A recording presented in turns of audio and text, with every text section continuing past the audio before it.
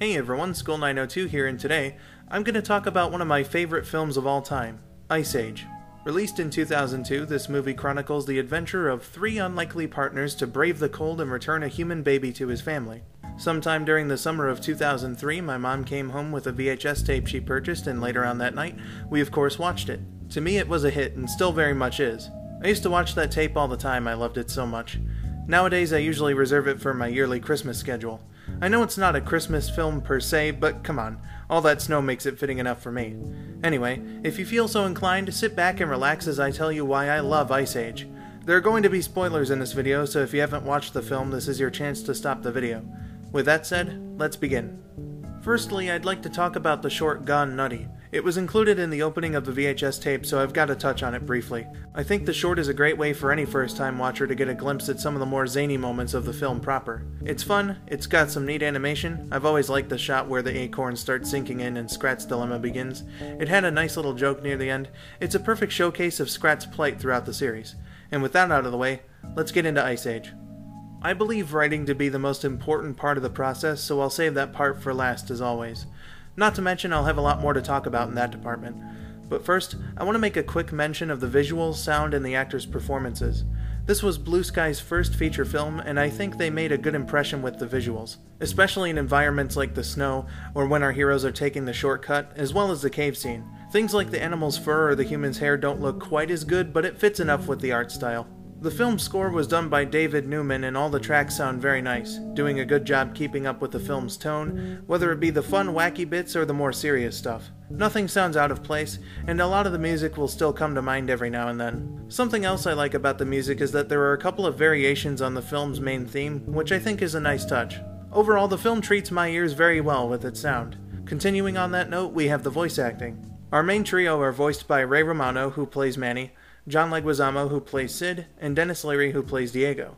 All three do an excellent job with their performances. The characters all sound exactly the way they need to, and I don't recall a line reading that sounded bad. That applies to the other characters as well. Whoever was in charge of casting picked a good group to work with. They all fit in with the feel of this movie, if that makes any sense. Not to mention Tara Strong was in this movie. She voiced the baby and this thing. Best actor ever, give her a round of applause.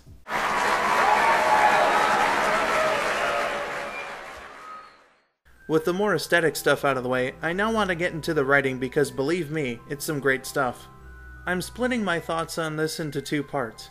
First, I'll talk about the plot and then the characters. What I see in Ice Age is a film about companionship and loyalty. The three main characters all come from different walks of life and have to learn to deal with what makes them different to reach their end goal returning the baby, named Roshan, home. The experience eventually turns all three into good friends after a harrowing adventure. Along the way, not only do they deal with each other, but also some dangerous situations. One thing I like about this film is that the writers were able to go from fun and zany to dramatic in a short amount of time without making it look jarring.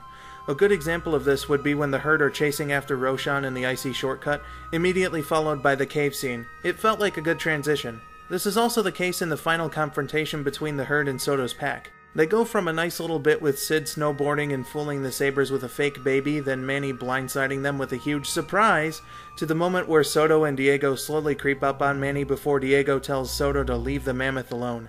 Soto taking Diego out and then meeting his doom after a well timed strike by Manny, and Diego being redeemed for originally plotting to kill Roshan with his pack. Even the reunion has a bit of tension as Roshan's father draws his spear on Manny before he's able to see his son and calls off the other humans before they can ambush Manny and Sid. And then we get the reunion between father and son, the trio all say goodbye, and Diego is revealed to be alright after the fight from earlier. Some might feel differently when it comes to Scrat's bits in the movie, but personally I don't question it at all and I think it shows the talent the writers had while making this film. It's an excellent story with incredible characters. Speaking of which, how about we talk about them now? First, I'll talk a bit about Soto's pack aside from their leader. Zeke's amusingly insane, Oscar's kind of a douche, and Lenny's, well, fat. We don't see or hear much from them, but they serve their roles well. We've also got the extra characters like the rhinos or dodos that, even with their lack of importance to the story, are still entertaining and in some cases can even deliver some of the more quotable lines in the film. Soto, as the antagonist, also serves his role well. He's ruthless, intimidating, cold, and has a sensical motivation. Humans killed half of his pack, after all, but he definitely took his revenge plot way too far. As far as Roshan goes, well, he's a baby. It doesn't take too much for a baby to be well written. But he's still voiced by Tara Strong, so he's obviously the best character in the film. Give her another round of applause.